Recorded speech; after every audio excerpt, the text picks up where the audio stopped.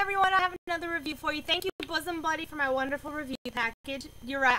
You heard it right. I'm reviewing the Bosom Buddy.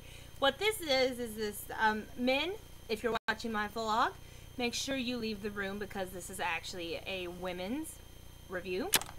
People look at it and go, um, what is that? Well, I'm not going to demonstrate for you, but pretend this is your breasts. You put this in between your breasts and it keeps them separated. This one, and I, each one thing that I really like about the Bosom Buddy is that for every purchase, a percentage goes towards breast cancer research. Um, you sleep with it in between your, I guess I will demonstrate it, in between your breasts like that.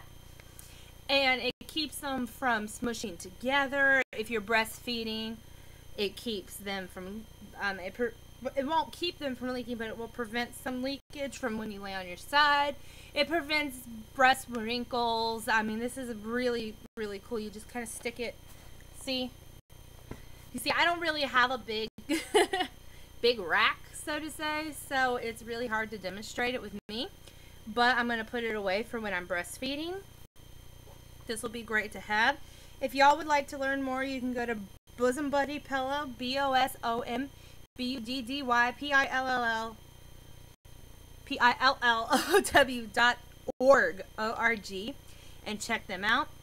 Um, if you want to give me a thumbs up on this video, that'd be great. Subscribe to my, my YouTube page. Um, information will be below me on this on the Bosom Buddy. And until next time.